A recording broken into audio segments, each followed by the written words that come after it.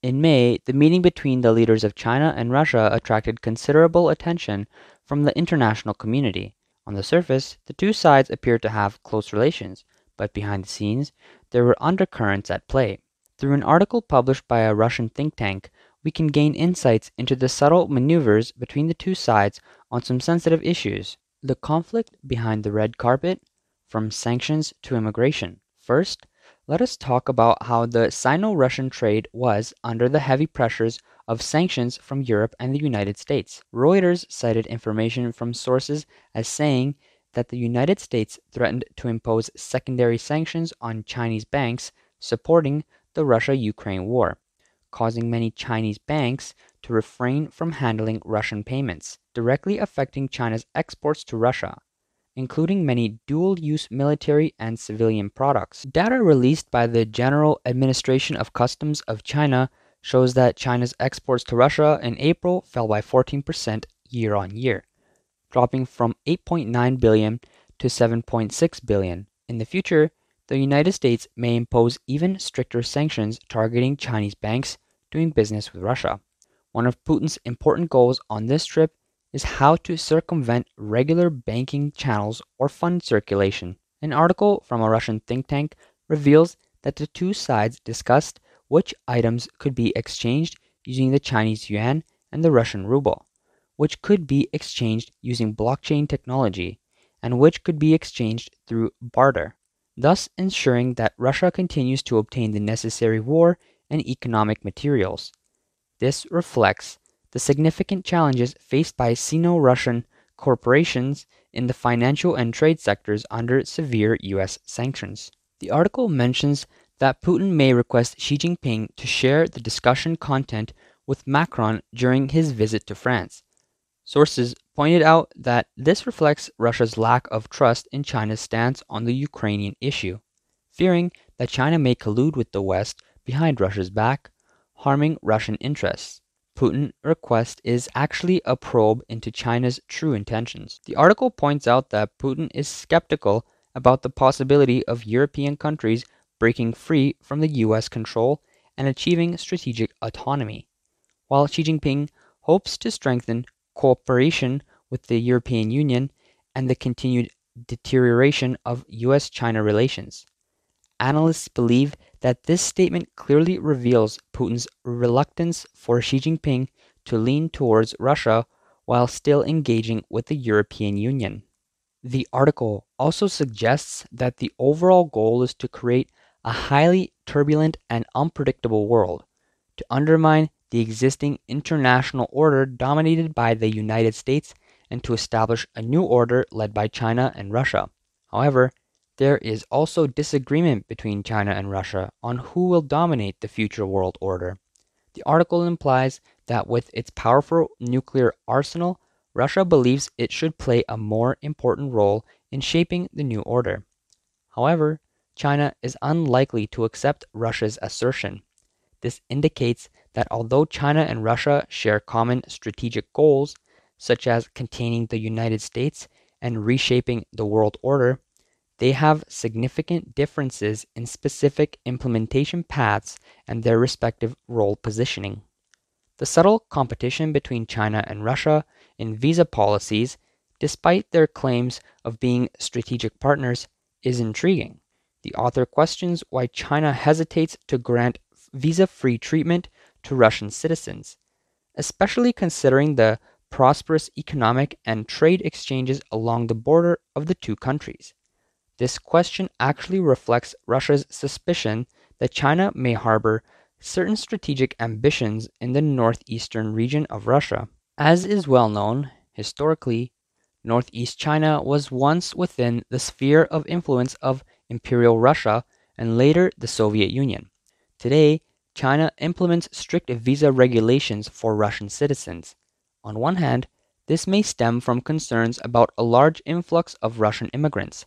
However, at a deeper level, it might be because China recognizes that relaxing restrictions could potentially allow Russia to leverage its disproportia to intervene in the affairs of northeast China, or even seek to regain control over this geopolitically significant region. At the same time, Harbin, as an important city in the northeast region, historically served as a railway hub and commercial center for Imperial Russia. Putin's dedicated visit to the city further highlights Russia's attention and ambitions for this region. From this perspective, the strategic mutual trust between China and Russia is not very solid, and regional affairs have become a new battleground for the two countries' competition. From the Tumen River to the Arctic, the geopolitical ambitions of the CCP.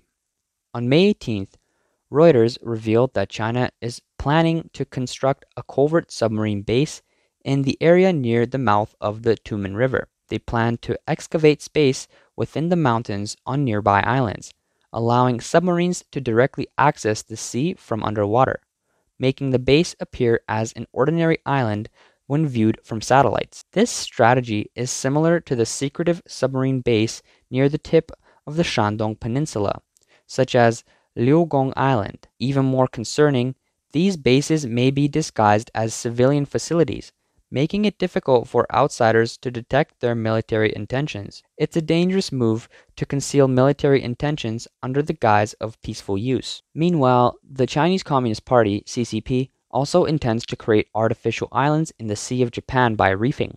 Once these two projects are completed, they will significantly alter the maritime balance of power in Northeast Asia. Imagine, with a submarine base in the Sea of Japan and a shipyard at the mouth of the Tumen River, it would essentially turn the Sea of Japan into China's inland sea. Moreover, these islands would be equipped with a large number of missiles and could serve as airstrips for aircraft. On the other side, Japan lacks effective military deployment along the coast of the Sea of Japan. Once the Sea of Japan incorporates elements of the CCP's control, the Chinese submarines and missiles exerting influence could naturally feel deeply concerned about its national security. At that point, if China were to engage in unrestricted warfare against Japan, conducting subversion operations and infiltration to coerce Japan to lean towards China, then the situation would become even more complex. According to reports, the seaport at the mouth of the Tumen River has been named Zhebie Port by Xi Jinping. Zhebie means arrow in Mongolian. In the strategic planning map, Zhebie Port is depicted as the arrow tail aimed at Japan while Japan's main island resembles a bow. Together, they appear to be aiming an arrow. The CCP claims that vessels from this port can reach the United States, but looking at the map, it seems more like to be aimed at the Pacific Ocean. There's not even a hint of aiming at Hawaii. It's as if it's aimed directly at South America. However, whether Russia would allow China to extend its influence into the Sea of Japan which Russia already considers as an internal sea, remains uncertain. North Korea is also sensitive about territorial sovereignty issues. Although both sides are allied with China, they also have their own calculations. Whether China, Russia, and North Korea can reach a consensus on the Tumen River issue remains to be seen. In fact, the mouth of the Tumen River is the first step in the CCP's Arctic strategy establishing submarine bases in the Sea of Japan and building reefs to occupy the Sea of Japan are short term strategies. The midterm plan is to subvert Japan, and the long term goal is to dominate the Arctic. As glaciers melt, the Arctic route opens up to Europe. The CCP clandestinely increases carbon emissions, accelerating global warming while using carbon emission standards to limit industrial development in Western countries. Eventually, they'll bring European manufacturing to its knees. With Arctic routes established and Siberia becoming suitable for agriculture due to warming, these all become assets for the CCP and part of their decade long grand plan. Unless the United States manages to bring the CCP under control in these coming years, it will be difficult to thwart their occupation of the Sea of Japan. It seems that it really does require Trump's administration to pull Russia away from China's grip. Putin's visit to China was met with a cold reception, and Shoigu was left out in the cold. The future of the Russian Far East and Siberia remains uncertain, with waves stirring at the mouth of the Tumen River. According to a disclosure of a former general from the Russian SVR on February 4, 2022, Putin and Xi Jinping signed a secret agreement involving China's support for Russia's military actions against Ukraine. In recent, Russia would allow China to lease and develop certain areas in the coastal borderlands and Siberia, with the leasing plan set to be implemented starting January 1st, 2025. However, Putin is now concerned that this move may trigger domestic backlash and hopes to postpone the execution date by a year. Xi Jinping, on the other hand, remains cautious and has not made any specific commitments. With just over half a year until 2025, how both sides decide will be watched with keen interest. The general also revealed that the Russian delegation seemed to have received some form of cold treatment. It is reported that Patrushev, the former secretary of the Russian Security Council, who was appointed as Putin's assistant, had reasons not to visit Beijing to avoid getting a cold shoulder. And indeed, his successor, Shoigu, upon arriving at the venue, was asked to wait outside the door for a full 10 minutes. The Russian delegation was also divided into groups, wearing different colored badges, and were restricted to different areas. Some groups couldn't even access the restroom, leaving many frustrated. Seemingly trivial matters all reveal the subtle deficit of trust between China and Russia. From the current signs, a major sticking point in Sino Russian relations lies in the previously mentioned leasing agreement.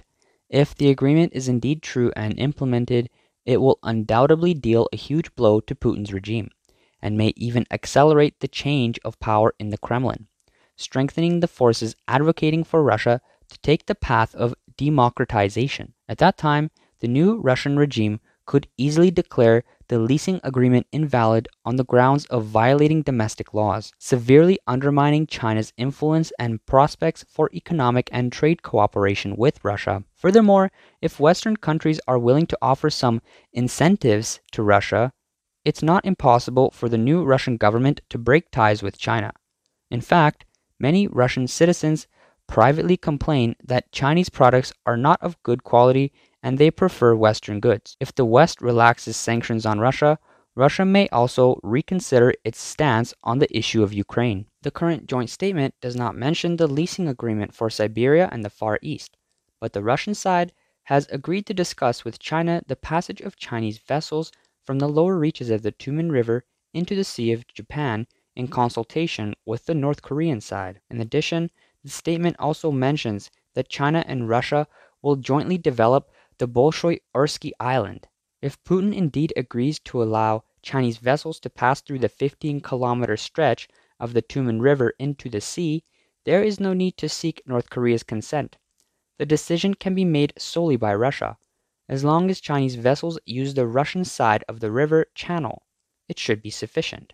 The mention of North Korea in this context seems to be Putin's way of using it as a shield to prevent Chinese involvement in the broader areas between North Korea and Russia. Therefore, the specific implementation of this agreement still faces numerous uncertainties.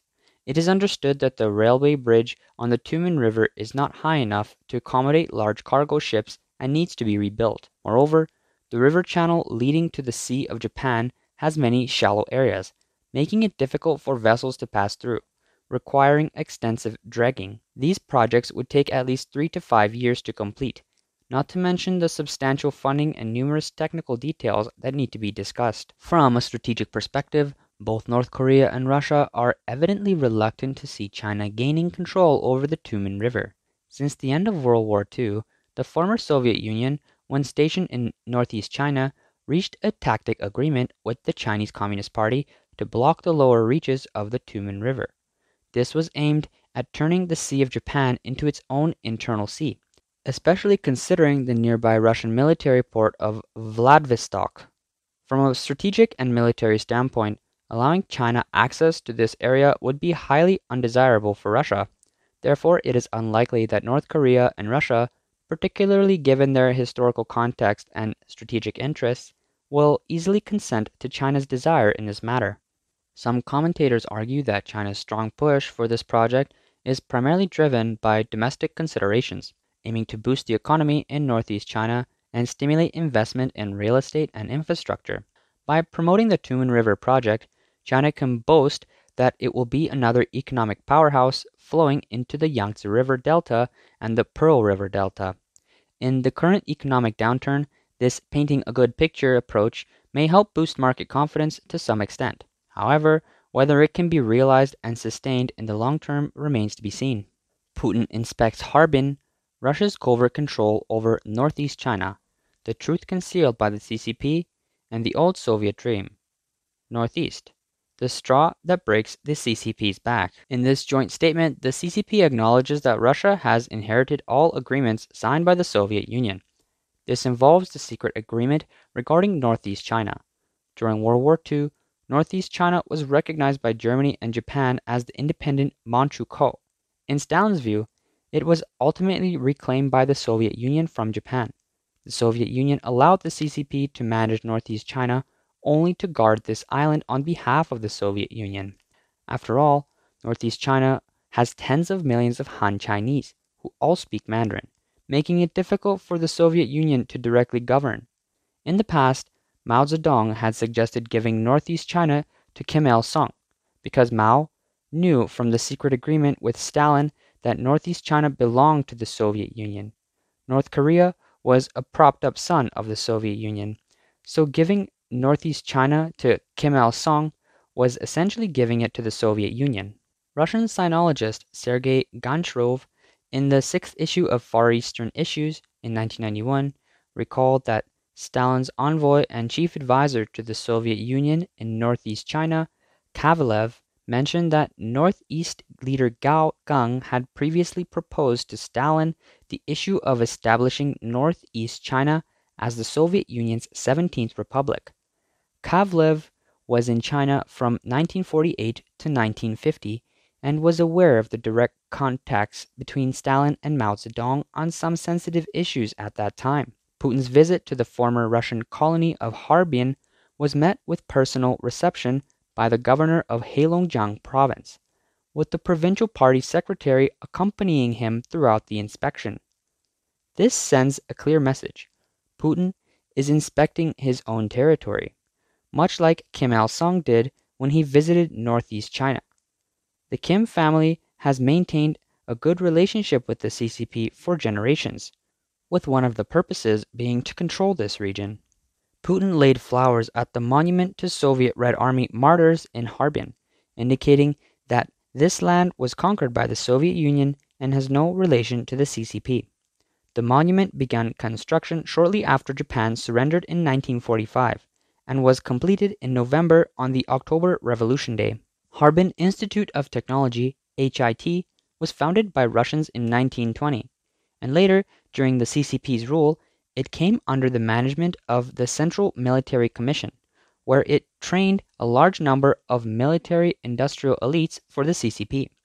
Putin's visit to HIT sends a signal that the industrial foundation of the CCP originates from Russia.